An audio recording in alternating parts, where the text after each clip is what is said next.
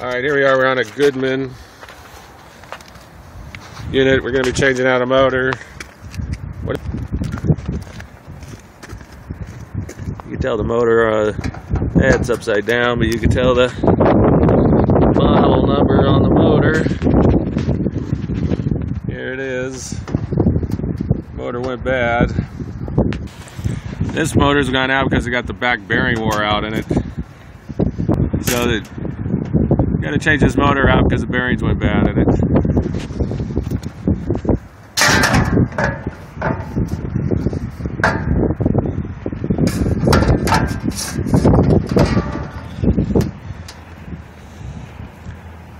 Oops, there went the ladder.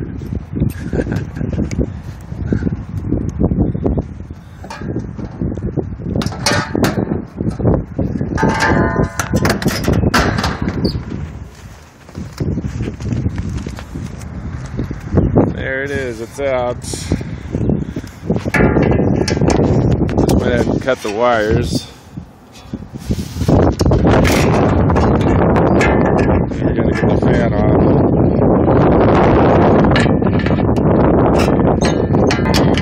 Sometimes it helps in the oil, but that came up pretty easy. I think uh, sometimes you can sand, use sandpaper on the end if it gets really rusty and pull it off, but that one came off easy enough.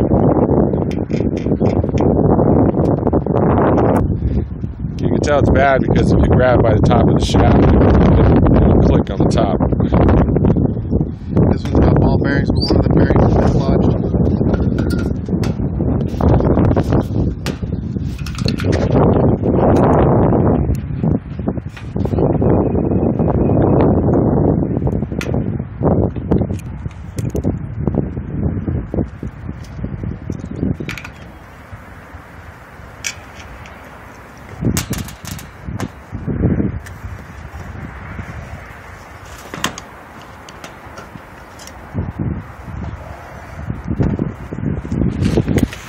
Alright, so there's the old one.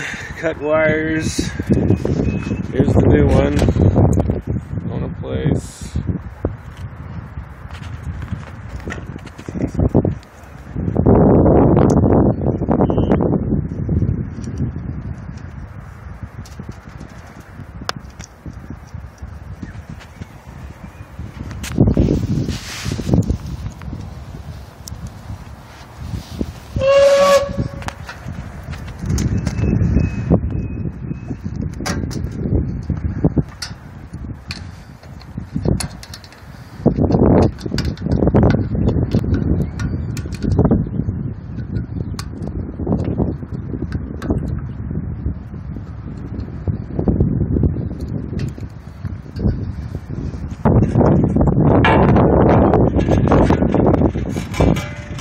Putting the original fan back on.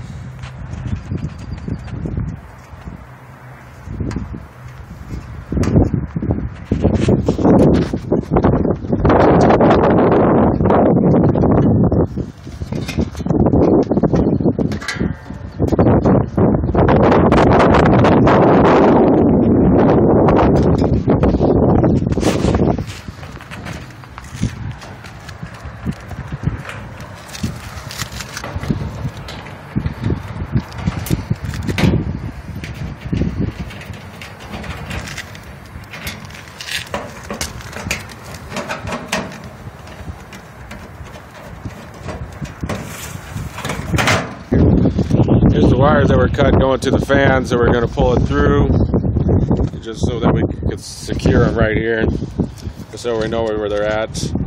When we originally pulled it out, remember we cut the wires. So basically we're just going to follow them once we get the new one in and plug them in right here. And here we are putting the pipe back on. Protects it from the fan in case they get tied up. They want to get tied up in the fan.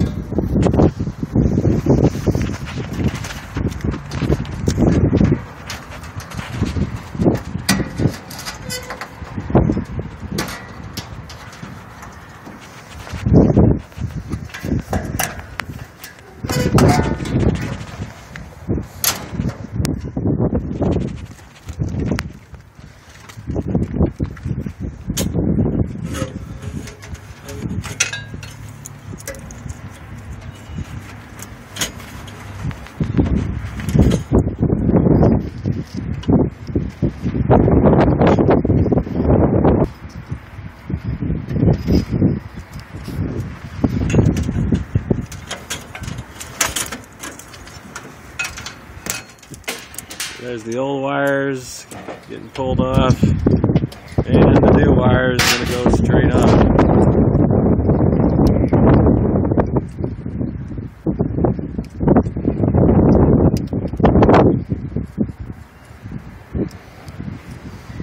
Be sure to get uh, match them up the same way they came off.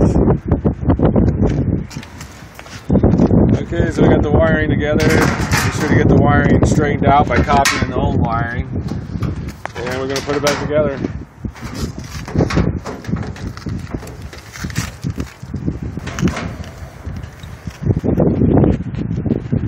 Yeah, just screw the fan uh, assembly back together on the units. It's spinning right now because of the wind, not because of electricity or anything.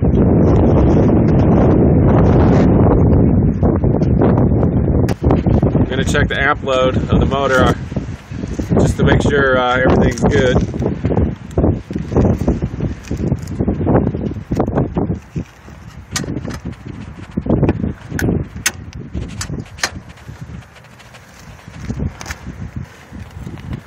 Gonna have to bypass the time delay since it has a time delay, but that's no big deal.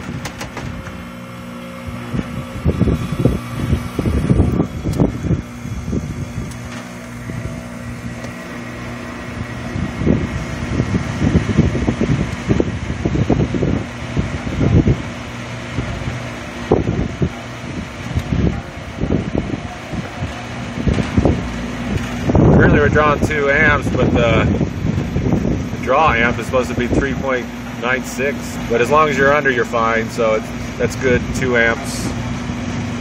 You can see the amp draw on the motor if you need to. But uh, that's basically it.